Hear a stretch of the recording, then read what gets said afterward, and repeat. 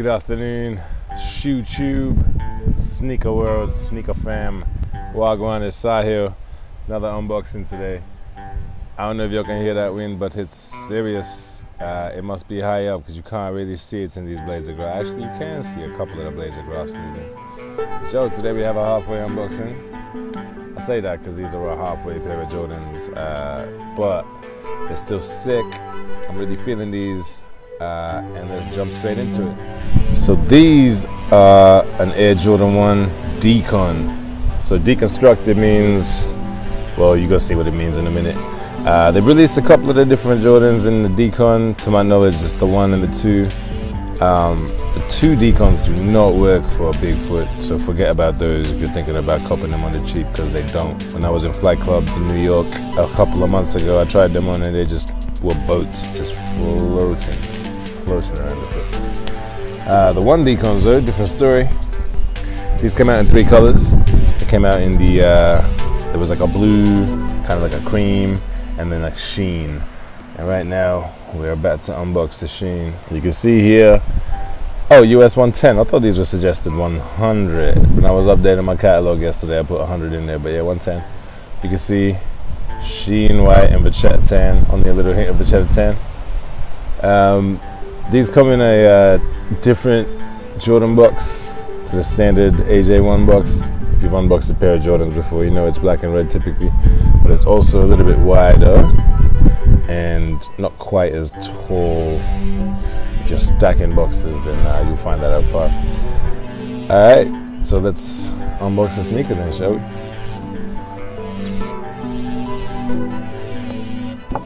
You got your standard Jordan. Actually, it doesn't even quite look like the standard Jordan 1 paper. It's just kind of plain dotted in this case.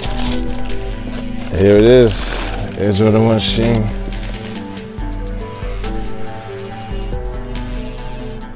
It's kind of cool, right? So, you know, all the pictures and the videos that you see of this shoe are going to be deceptive. Because it's hard to really figure out what kind of pink you got until you got them in hand. But these are a softer, kind of more bubblegum pink than I expected. Even right now when I'm holding them on hand, they look way softer than they look on screen. Which is uh, interesting.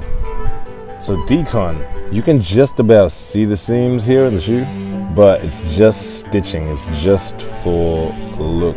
Apart from maybe this here, all the other stitches aren't actually stitching two parts together they're literally just stitched on the one piece of canvas. The silhouette is pretty much the same as the Jordan 1. It's literally exactly the same. The wings are in the same place. There's no Jumpman on the back, Nike Air on the tag. The only thing that you find the materials is exactly the same though, is on the midsole and the outsole.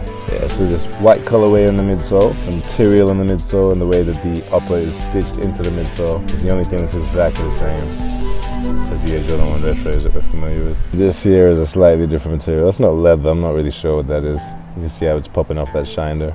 And the Vachetta tan, the Vachetta tan is referring to the label here, which looks beautiful. That accent over that color and that material switch. That's pretty much that though. This is the Air Jordan 1 Sheen. I've actually got the blue one too, so let me go cup that.